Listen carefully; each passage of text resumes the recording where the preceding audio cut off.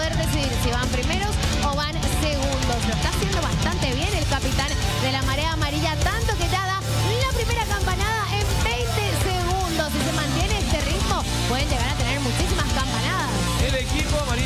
bastante bien de la mano del capitán Adrián, que ya le otorgó una campanada. Pasó con mucha seguridad, con mucha precisión de un extremo a otro. Y ahora le toca el turno a Marina. Marina ya ha logrado también pasar la tubería. Vamos a ver si ahora con toda la presión del vivo, con toda la presión de esta jornada, logra. Ahí está Marina avanzando ya en el tercer bloque de la tubería. Empieza a soñar con dar una campanada más está recibiendo también todo el equipo, mejor dicho, todo el apoyo del equipo amarillo. Ojo, ¿eh? Hasta el momento el equipo amarillo saca la ventaja con 300 puntos y ahora de nuevo con una campanada más de la mano de Marina. Recuerden que el pecho tiene que permanecer pegado a la tubería. El pecho, los hombros son los que marcan la distancia.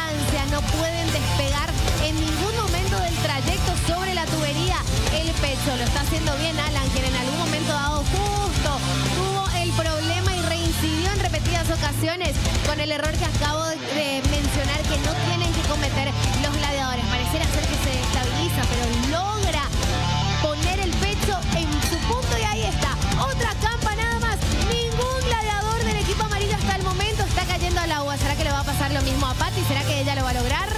presión en este caso para Patinú. Ojo, ¿eh? En las tres pasadas, las primeras tres pasadas, el equipo amarillo logró atravesar la tubería y dieron tres campanadas. Ahí está Patinú superándose. Tres de tres, vamos a ver si logran el cuarto punto, la cuarta campanada. En el ensayo, Patinú no estaba pasando la tubería. ¿Será que lo va a lograr en el vivo? Estaba a punto, pero no cae a la pileta y con esto ya le cede el turno a su compañero, en este caso uno de los Medis, es Ariel el que sale por el equipo amarillo. Bueno, Ariel nos dijo que compró la cinta que ensaya en su casa. Yo no sé si es que él ya pudo también construirse una tubería en su ¿Será casa. Ojalá, no, no sé. Vamos a ver.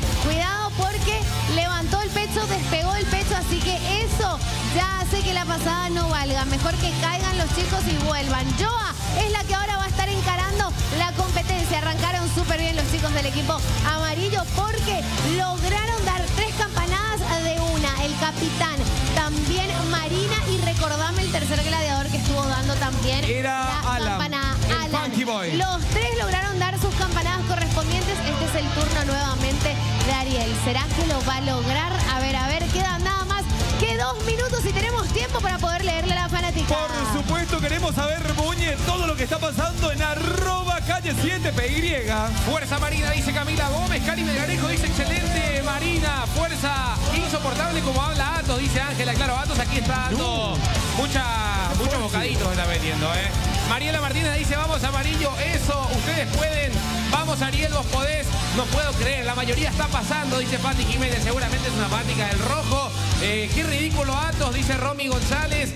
Eh, vamos equipo amarillo, dice Nilda González, Nilda Gavilán, perdón. No entiendo por qué no se concentran, dice Karen. Bueno, la actividad, la competencia es muy fuerte, de verdad. Y estamos entrando en la recta final. Un minuto, 16 segundos. Rendirse no es una opción. En lo absoluto, y es yo a la que nuevamente al equipo amarillo. Lo logra y atraviesa esa primera tubería. Se viene la segunda. Marina está siguiendo los pasos de Joa. Avanza hasta la tercera tubería. ¡Un minuto! No, no lo logra. Equipo amarillo en las primeras tres pasadas logró atravesar la tubería, esta competencia tenemos que aclarar a la fanaticada que es muy difícil después de meses de trabajo, de entrenamiento y de una dedicación absoluta. Tanto Alan también como Adrián y Marina lograron atravesar de un extremo a otro. Ojo, ¿eh? 40 segundos y esto termina.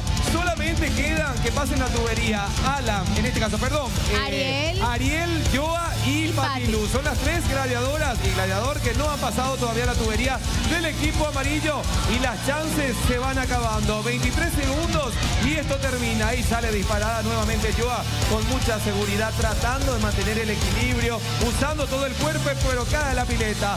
Se acaba el tiempo en 10, 9, 8, 7, 6, 5, 4, 3, 2, 1.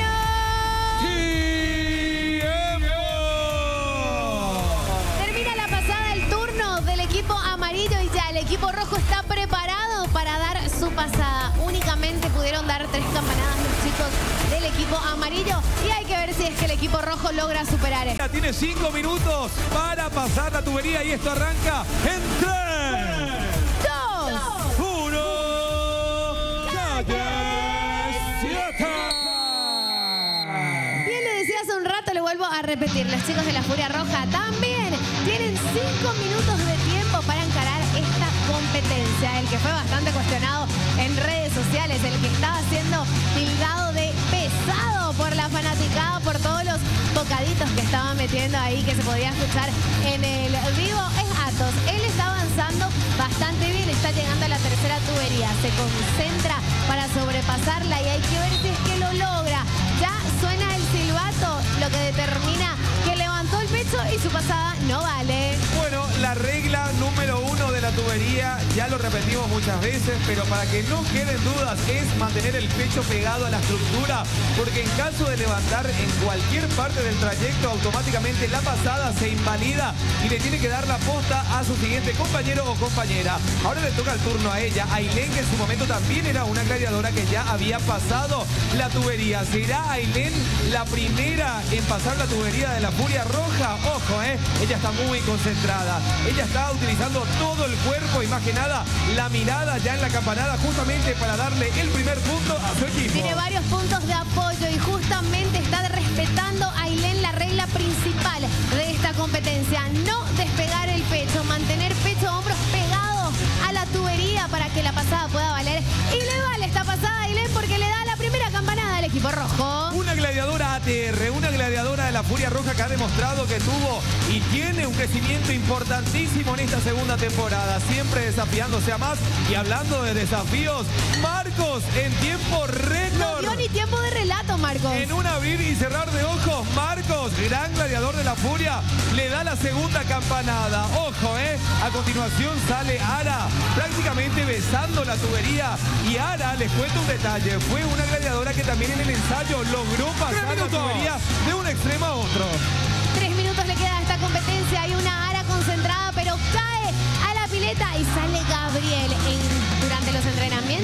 También Gabriel logró pasar la tubería. Hay que ver si es que esta vuelta durante el vivo tiene la misma suerte, tiene la misma habilidad de sobrepasar a la tubería. Lo está haciendo bien, está pegando el pecho a la tercera tubería. Vamos a ver si es que sigue la buena racha para Gabriel en esta pasada. Y hablábamos recién, Cas, ahí está Ariel cayendo al agua. Es, es muy loco lo que pasa. Ahí está Yari, ojo, eh, ojo. Se fue directamente al agua y con esto le cede la posta al capitán de la Furia Roja Atos. Recién estábamos hablando, Cas, que a veces uno en los ensayos le sale todo bien. Parece que uno Sí. supera todas las pruebas, los desafíos.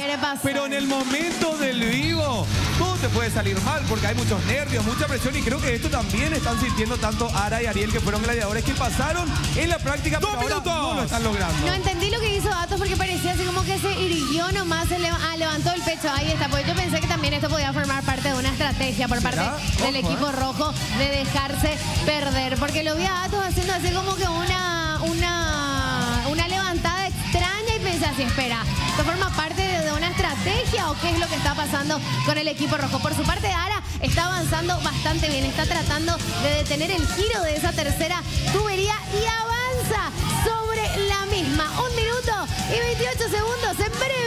termina por definir la jornada. Vayamos a las redes sociales, Muñe. ¿Qué piensan los fanáticos de la Furia a través de arroba 7PY? Excelente, Marco, dice Chichi. Jensi dice alucinante la cara del miedo que veo Nara. Ahora Ara lo pasa correctamente. Campanada, empata en el marcador.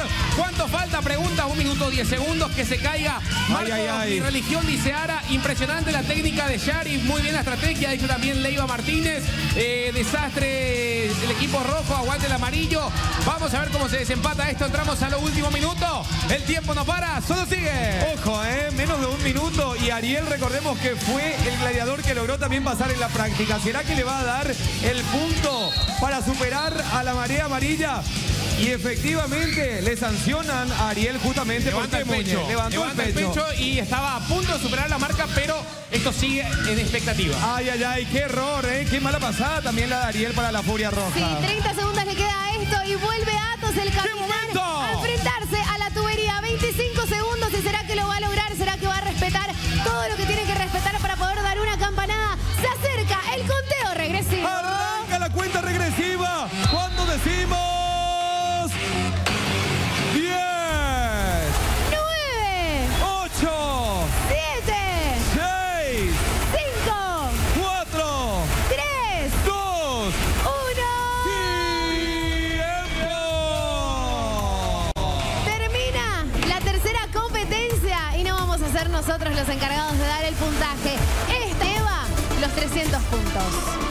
equipo ganador de los 300 puntos son los del equipo amarillo. Y con puntaje perfecto.